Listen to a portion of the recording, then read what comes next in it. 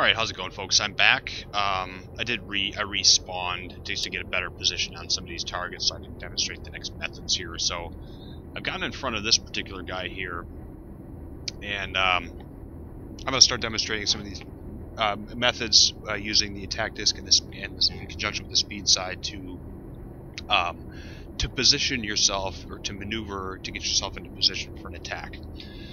So the first thing is computing a perpendicular course to target. For this particular calculation, we use the front side of the disk, okay? And we've got a situation here where we've got this this ship. We've got this particular ship here, okay?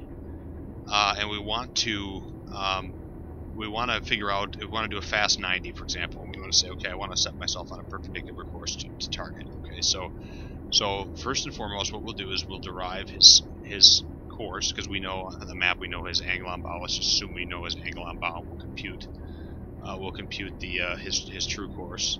So the first thing I have to do uh, when I want to use the front side of the attack disc is I have to set own course 210. Okay, so 210 on the attack disc. We set that 210 here. Okay, so we got that set.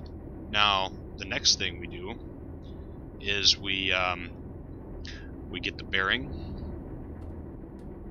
and we set the angle on bow. So first of all, we'll get the bearing, relative bearing. Okay, and the relative bearing here is uh, 129. So we'll go into here and we say this is the bearing uh, arm here, 129. We'll set that. Set that right here. Okay, 129 is set. Now we let's say we just estimated or measured the angle on bow at, at 51 degrees. Okay, so 51. So we know it's bow left. So we, we move the uh, target disc so that 51 is aligned with the bearing here. And we read the true course off of 210. Ha! Well, I set I, I measured it before and I set parallel course. So there we go. It's equal to our course. Okay, so that's how you get true course. So 210. So that being said, I want to say, okay, I want to do a fast 90 uh, as the first step here. So all you simply do, uh, there's two ways to do it. This is the uh, attack course pointer here. You just simply set that to the nine to align with this 90 degree line right here, this red red green arrow line, just like that. Okay, and then you can you can just read off the um, the attack course uh, here as 300. Okay, and the reason why I did that is because we know the bow is going to be going left. Okay, bow is going to be left. We're going to be approaching him from his port side, so therefore we know it's going to be 300. Okay, the other thing you can do is if you is you can simply just say at the 90 because you know bow is going to be left. At the 90 left, just read off the course that that is right um, right above that there. So 300. So so what we'll do is we'll come to course 300 now, we'll, and we'll simulate uh, turning onto an attack course. Um, I'm going to go ratchet the speed down a little bit to um, somewhat simulate the uh, approach speed underwater. Okay, so, and then we'll turn on to a course of, of uh, 300 to put us on a perpendicular attack course. Okay, so so that is the that is the method of of calculating a perpendicular attack course with the um, with the attack disc. Okay. So as we do that, and I'll, I'll even just further ratchet the speed down here because we're, we'll get it down to about three knots. And again, I'm doing the surfaced just for ease of maneuverability and um, the fact that I don't want to have to navigate underwater solo. I'll just we'll just pretend like we're underwater for argument's sake uh, doing this method. So or doing this uh, using these discs. So we'll get the speed down a little bit more. Coming up on 300 here.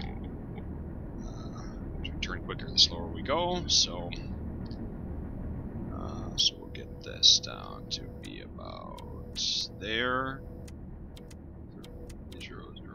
Here. Okay, so that's good, and then it will ratchet the speed down even further. is going to give us yeah, that's going to give us a workable speed there, I think. So, okay, so that so that we're on a perpendicular attack course now. So the the other handy thing to compute is uh, distance from track. Okay, distance from track. It's a simple multiplication problem, and it's it's equal to range times the sine of the angle on bow. Okay, range times the sine of the angle on bow is the distance from track. That means that at the point that this target will present a 90 degree angle on bow to you, you will be that distance away. Okay, so let's just say we ranged him at 3,800. Okay, and his angle on bow is 53. So we, since we're doing multiplication, we align the 3,800 with 90 right here, and the 55 or 53, excuse me. 53 is what we read off. We set pointer to 53, and at 53 we read off the distance from track. We will be um, 30, about 30, uh, 40, 3,040 meters away from uh, from him when he crosses our um, when he crosses our track. Okay, that's the distance we are off of his track currently right now. Okay, all right. So that um, so that's that. So that's the other. That's another another uh, calculation. So now what I want to do now is there's a way using the speed disk to, to figure out how fast we need to go in order to put ourselves a certain distance off of this target's track. So let me just draw his track here. It's 2 and 0, okay? Say we want to put ourselves like 500 to 1,000 meters off of his track and we're approaching him underwater.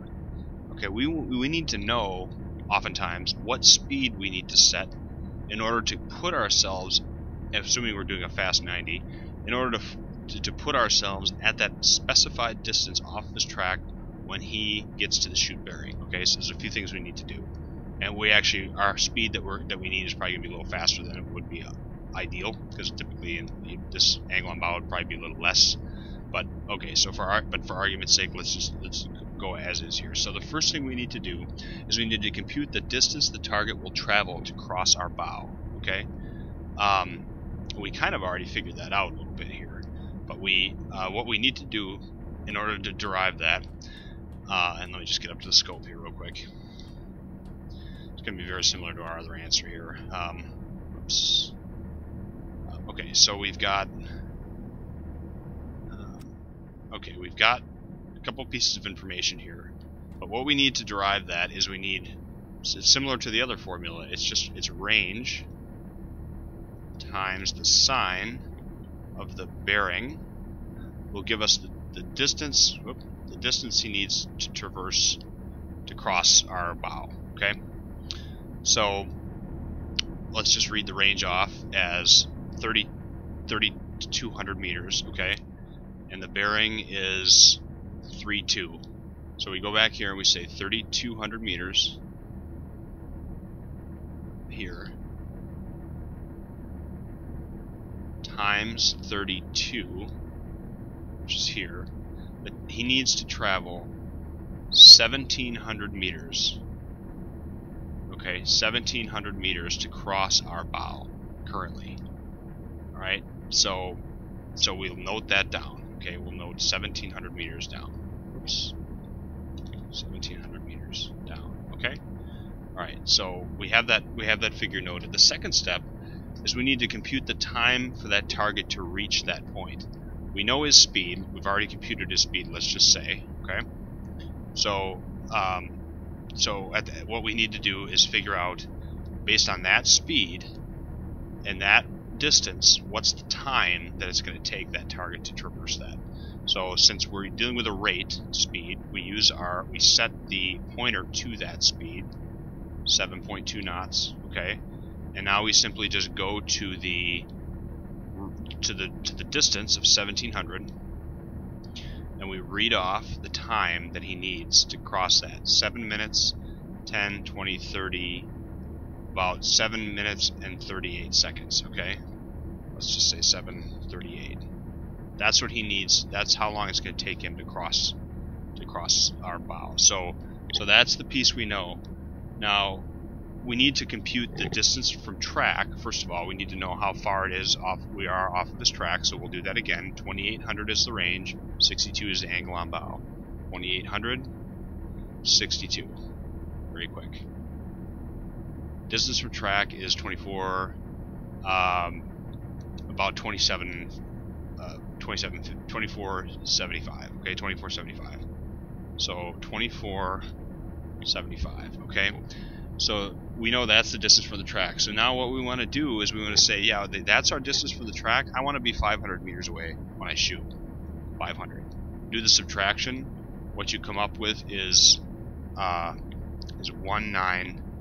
Uh, I need to go 1,975 meters to um, uh, to get to a point where I will be 500 meters at the shot.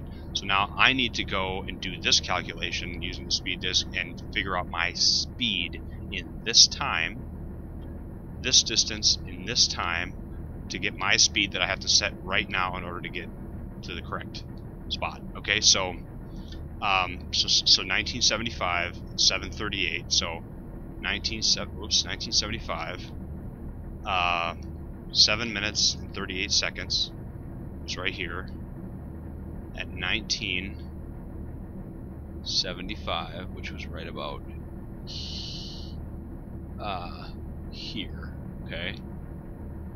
Uh, right there. So okay, so I need this. I need to be going 8.4 knots in order to get to get there. So there you go. So I need to go 8.4 knots. So I know that that's between slow and dead slow. So I'll go slow speed and then I'll go 10 slower from that, and we're just going to kind of feel our feel our way down to 8.4 knots. But but we're in reality, you'd you know you'd probably be going slower than that because you you'd have a smaller angle on bow.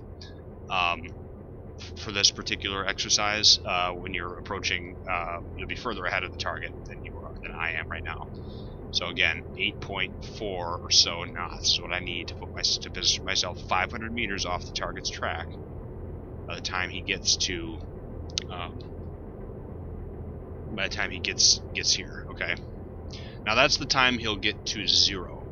So he won't be quite when we shoot. If we're doing a true fast 90, he won't be quite at that yet. He'll be a little over 500, but it's really no matter. So, uh, okay, so I, we're going a little too fast, so I'm going to go tension and 10 slower again try to get down to about 8.4.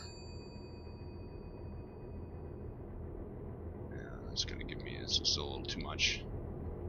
This might be, we might have to just be, we might not be exact, okay, but we'll get, you get the idea. 8 point, so like, so 8.2, okay, that's pretty close enough. Okay, so, so here we go.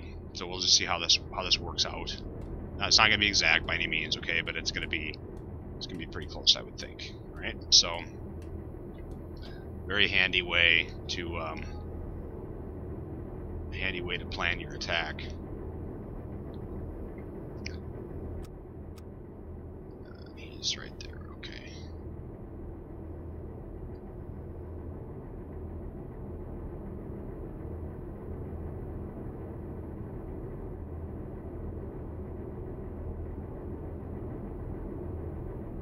Just make sure our speed is lower than I think it is. Since we lost a little time, Yeah, we're gonna lose. so we lose, we lost a little time, but it's to be, it'll be pretty close, I would think here. So we'll see.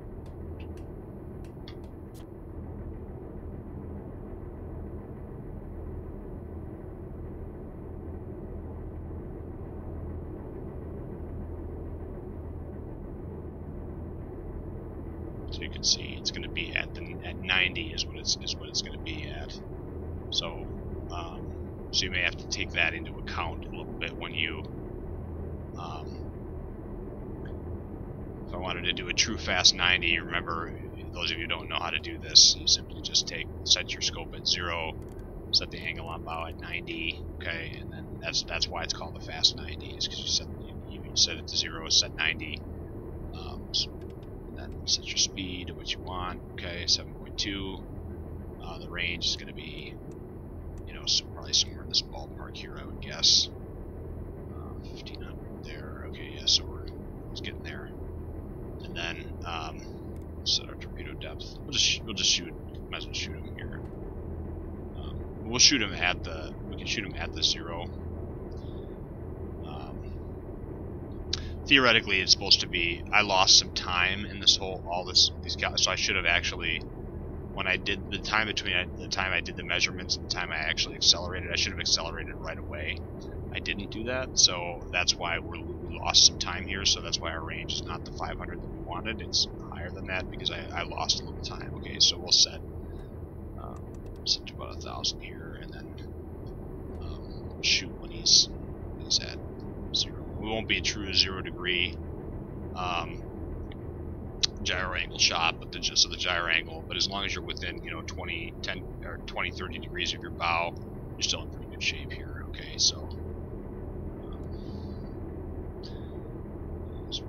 shoot there and then uh, that's that so that that's the speed for attack position now so you can see we were about um, 500 to 600 meters off because we didn't accelerate right away um, when we did this one the method so when you're doing that method you need to make sure you you get get to up to the speed you need right away um, to make up for lo the lost time in you doing the calculations okay but in reality, it takes you a little quicker. It's just, I, I took a little more time because I was going through the explanation. But uh, at any rate, that's that method. Okay.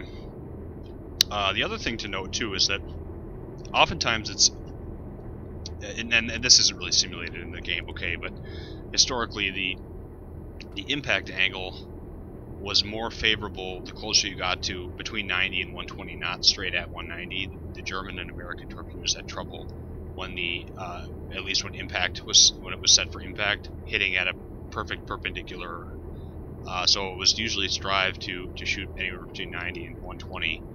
Uh, so therefore, that that actually approximates what we we did right there. Um, was was that so? Um, so there's a hit there. Okay, so um, so that that's that method there. Um, so I think I'm to call it. I'll call it. Uh, call it a day.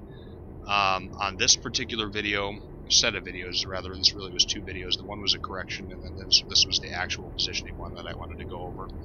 Uh, but the next video, uh, immediate next video, is actually going to be about um, no TDC shooting. So uh, I did mention in the first video I made, this side actually historically was uh, was used for no TDC shooting. That's what these particular um, pointers here are for. Okay, so that's what the next one's going to be. It's going to be setting up for a no TDC, TDC shot. Okay, so uh, but for this, I will uh, I'll, I will bid you farewell, and we will see you in the next installment.